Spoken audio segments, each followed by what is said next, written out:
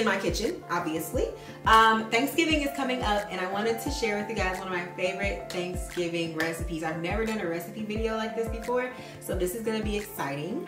I don't normally cook a lot. Mostly y'all know that. I like to go out to eat, okay? But I do cook every now and then, especially during the holidays when there's other people to cook for. So if I'm entertaining for family or friends, I love to cook for Thanksgiving. We are scaling down our gatherings and for Friendsgiving this year, I'm not gonna have a huge Friendsgiving party at my house. Um, so I am gonna be making my dish a little bit smaller this year, but I wanted to share with you all anyway, just in case you are gonna be cooking for your family and you wanted some ideas on what to cook. In this video, I will be making my favorite recipe and it is sweet potato casserole. I love sweet potatoes with marshmallows and it's just, it just reminds me of the fall. And I'm going to be showing you guys my Amazon Echo Show and how I use it. This is the Echo Show right here. It's a big speaker, so not only can I use it to play music and stuff while I'm cooking, you can use this to look up new recipes. I do like to use this for making list. So I make um, my grocery list with Echo Show. So this is the Amazon Echo Show. As you can see, there's my vacation pictures showing.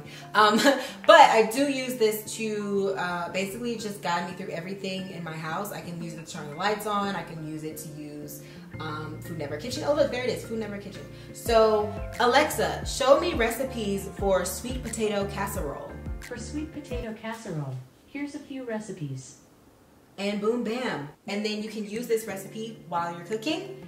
I do like to use a recipe just to make sure that I'm following along correctly and doing everything correctly. As you can see there's the picture there. You can click the video if you want to play the video. My sweet potatoes. I roasted these guys earlier. Isn't that fun so I'm not to use the video while I'm cooking but it does have all of the ingredients that I need to get here and it has all the steps that I need to take right here start the recipe, save the recipe, and add to shopping list. Like I said, I need to get the ingredients so that I can cook in the morning. I'm not gonna cook it tonight, girl, I got stuff to do. I'm gonna use the shopping list. I have added all ingredients to your shopping list. And because my Echo Show is linked to my Amazon account, everything is in my shopping list. So, I'm gonna go to my Amazon app and go to Alexa lists and then all of my ingredients that I need to get are here. So it's super clutch, that way I know where everything is and I don't have to worry about trying to find the recipe while I'm shopping in the store. I'm not even gonna go to the store. I'm gonna get all these ingredients in my cart, order it on Whole Foods, and go to Whole Foods, sit in the car and let them put them groceries in my back seat, okay? Once I get all my ingredients, I'm gonna come back and show you guys how I make the recipe. And yeah, I hope you guys are excited. All right, what's up guys? I'm back. It's the morning, okay? Um, I'm about to make my sweet potatoes. So I have all of my ingredients sitting out in front of me and I have my Echo Show in front of me as well. And all I have to do is ask for the recipe and it'll show up. So Alexa, show me my saved recipes. Here's your saved recipe. This is the recipe and when I'm ready to start, I can just click start or I can click on the video here or I can just leave it up to make sure that I have everything ready, which is what I'm about to do right now.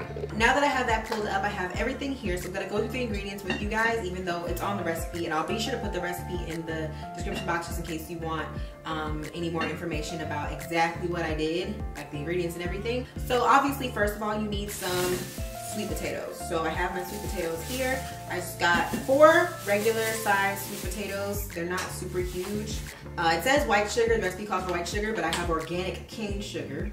Two eggs, so you're gonna need two eggs. I have my eggs here. You'll need a half teaspoon of salt, four tablespoons of softened butter. My butter is over there, it's softening. You need a half cup of milk. I like to use dairy-free milk. If you don't wanna use dairy-free milk, feel free to use whatever milk that you like, whatever milk you prefer. I actually like the way it tastes with regular milk, but I try to do dairy free for my family. So you're gonna need half a teaspoon of vanilla extract. So I have my vanilla. And then also to put on top, I like to use marshmallows. I love marshmallows. I am a marshmallow fanatic. The bag's already opened because I just love marshmallows. You need your marshmallows for the topping, which you'll put on last after you bake your sweet potatoes. Trust me, I almost burned down the house one time because I put sweet potatoes in and cooked the marshmallows for too long, they caught on fire. So yeah, don't do that. Don't be like me. Preheat your oven to 350. Mine is preheating right now. You can either bake your sweet potatoes or you can boil them. I'm gonna peel my sweet potatoes, cut them up real nice, and then boil them so that they're ready to be mashed. Oh, and then for utensils wise, you just need a masher, um, something to mix everything with. If you have a uh, an electric mixer, that's perfect. It's going to really whip your potatoes and get a nice whipped texture. And then you also need something to put your sweet potatoes in to bake it. This is my casserole dish that I'm going to use. It's a square dish because I'm not cooking for a lot of people this time around. I'm not gonna use a big one. I usually have like a bigger wider one, but I'm just gonna use this short one. It feeds about three to four people. And then you're gonna wanna grease this. So use butter or a light oil or something to spray the inside so that it doesn't stick. Before you put anything in your casserole dish though, you're gonna need a mixing bowl. So go ahead and get a mixing bowl. This one's a little too big, but it'll do. Uh, and a measuring cup for all your ingredients to, that you need to measure. So, so I'm just gonna get a saucepan like this and put some water in it. I'm just gonna salt my water let that boil for a second and then I'm going to cut up my sweet potatoes. So I'm just rinsing off my sweet potatoes and peeling them with a peeler before I cut them.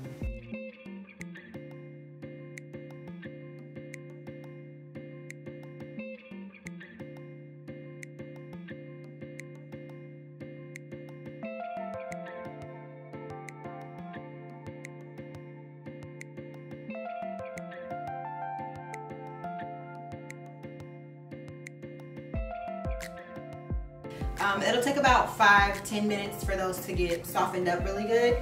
If you, like I said, if you want to bake them, you can, but it's much easier and much quicker to cut them up and boil them because it takes way less time. If you bake your sweet potatoes, they'll probably take about an hour. So just keep in mind that you still have to bake the sweet potato casserole after you've already baked or boiled your potatoes to prep them. So the prep time needs to be factored in. So I'm gonna wait for the sweet potatoes to boil and then I'm gonna come back. So you're gonna take your bowl, put your sweet potatoes in your bowl so you can mash them.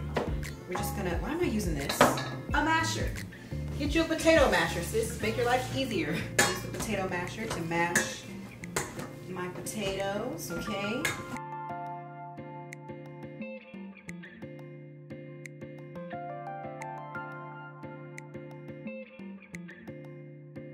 So there we have our mashed sweet potatoes, nice and hot. Now we're gonna add our ingredients in. So we need a half a cup of sugar, so we're gonna add our sugar in.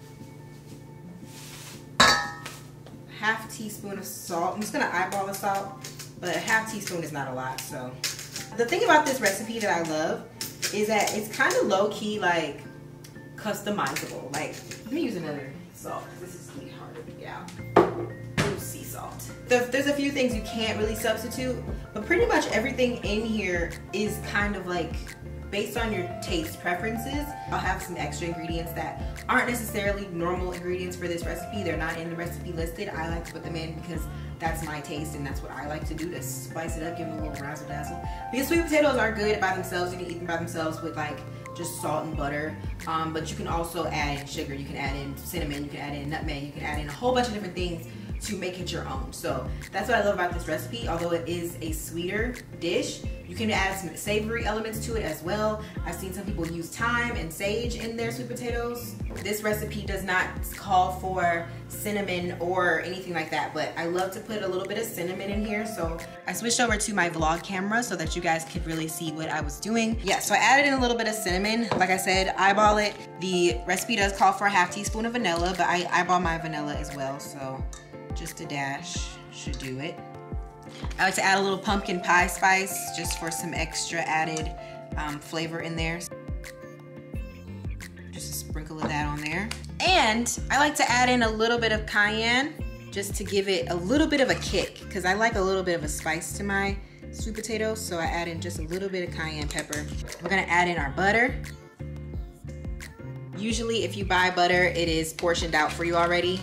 If you get butters in sticks, it'll show you how many, how much four tablespoons is, and that's half of the stick, which is kind of what I use. I'm gonna use a little bit more, a little bit of extra butter. Almond milk, half a cup. Yeah, half a cup.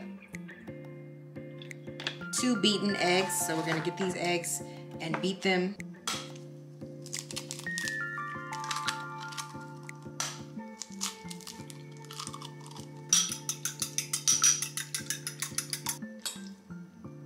Mix it up.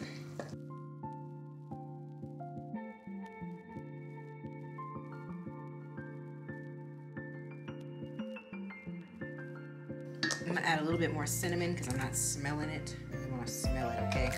All right, so that's what our mixture should look like.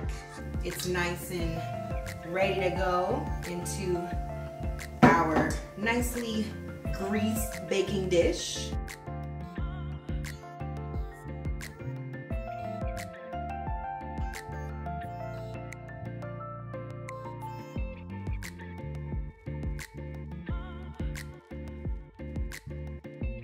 Now that the oven has been preheated, we're going to go ahead and put this into the oven.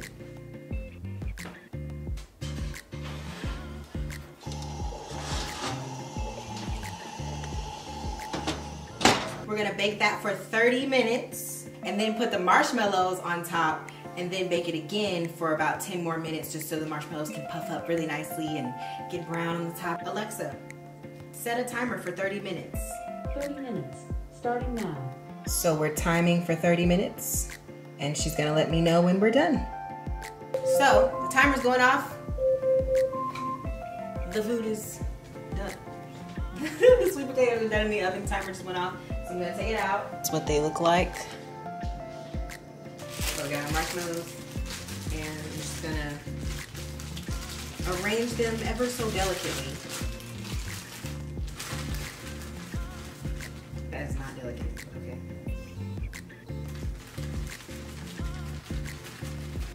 Sure those are nice and distributed evenly. This is what it looks like. Okay. 10 more minutes in the oven so that those can puff up and give a nice brown top. Back in the oven that goes. Alexa, set a timer for 10 minutes. 10 minutes, starting now. The finished product. Okay. Yes, we have our sweet potato casserole. That is how you make sweet potato casserole. Super easy. So if you're looking for a like really easy holiday recipe to do, I love making this for Thanksgiving and for Christmas actually. I do make it for both holidays. So if you guys need any more information, like I said, the recipe will be in the description box along with a link to my Amazon Echo Show that I love so much because it really helps me when I'm moving around in the kitchen just for like everyday purposes, you know, making lists for groceries and things like that, but also helping me put together my meal. Hope you guys enjoyed it. Like this video if you want to see more, and I will see you guys in my next one, okay? Bye!